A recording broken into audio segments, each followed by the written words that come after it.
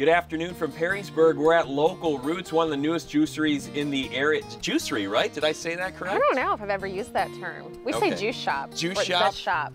This is Ashley Balester. She's the owner of Local Roots. Ashley, uh, thanks for joining us. Thanks for having me. Now, it's called Local Roots because you are from Perrysburg. I You're am. away for a while and you've come back to re-put down roots. That's exactly why it's called that. Putting back my roots in Perrysburg, and we also use a lot of roots in our juice. Hmm. So there we go. And we have a couple of juices here. That is one of your more popular ones, It correct? is. It's for like all the super healthy people. It's not sweet at all. So like that's me because I chose this one. um, has all the greens in it. It's a favorite. And then we have our new seasonal one, the cinnamon apple cider, Mm. and it's fall in a bottle and fantastic. Ashley likes to keep it simple when creating juices, using only a few organic fruits and veggies. The apple cider, for example, is only three ingredients apple, ginger, and cinnamon. What do you think? It's very good. All right. I love it. I mean, those are three of my favorite ingredients. Why did you decide to get into the juice business? My whole life, I've always been into healthy eating. Um, I love vegetables. So I felt like that's an interest of mine. But then also moving back to um, Perrysburg, I just felt like there was definitely a need for something like this in the community. And you know, all the stars aligned. My husband was on his way to finishing up a 14 year professional baseball career. We were kind of like, well, what should we do, do now? So this kind of just presented itself, and I was like, you know what, I'm just gonna go for it.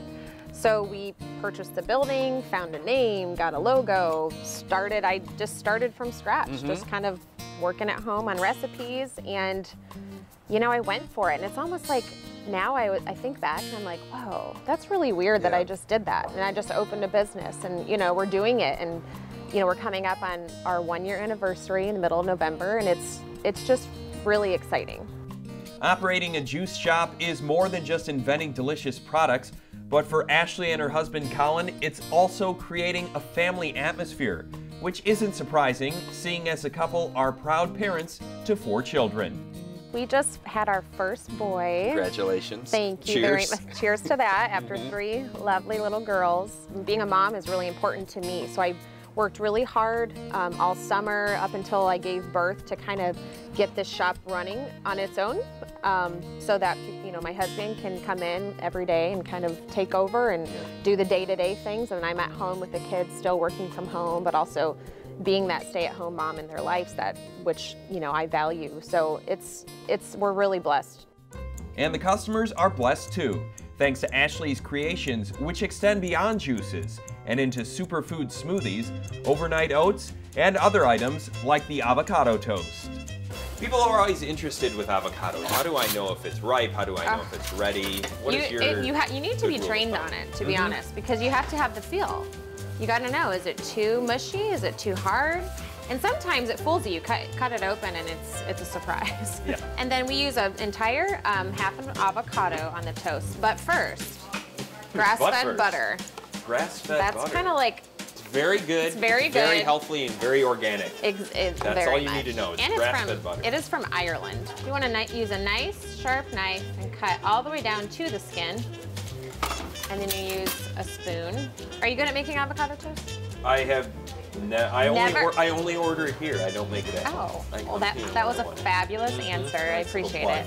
I yes, I've done it a few times, but I'm Are probably you not a as skilled masher? as you. Do you mash? I would mash it Yeah. in, yeah, probably. Wait, I And don't. that's we not how like you do it, we huh? like the slice. So then Okay. you scoop the whole thing out and spread Sort of it. fan it out. Fan it. Mm-hmm. Now what is this? Seasoning This salt? is Himalayan pink Mm, salt. I love that. Me too. So much better than the regular, right? Mm-hmm. And then we make our um, our own everything bagel seasoning, and a little bit goes a long way. Mm-hmm. How do you I make love, that? I, it's a secret recipe Okay. that you could probably Google and find anywhere. and that is the that's it. avocado toast. Yeah, Very simple. Can I get a bite? absolutely. Help yourself. The avocado toast at Local Roots.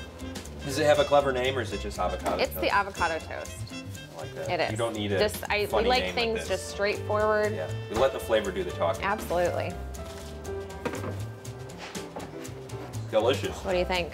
Very good. And I, I Did the know I'll have all the everything in my teeth too, so that's The grass-fed butter made the difference. Mhm. You can could taste the grass.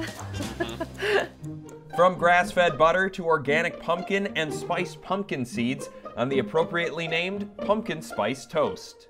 It's almost like eating pumpkin pie on toast. It is, but That's it's like way healthy. it. There's no Mhm. refined sugar. We use coconut sugar um, and um, spices on our on the seeds, Mm-hmm. and then the you know the spread is sweetened with maple syrup. Collin blended one of Local Root's 10 different smoothies, while I tipped back a seasonal turmeric toddy to close out my visit. They make a good team, so stop by and see the Balesters, get some toast, smoothies, and right now it's Merrick Toddy. Local roots in Perrysburg. Good stuff.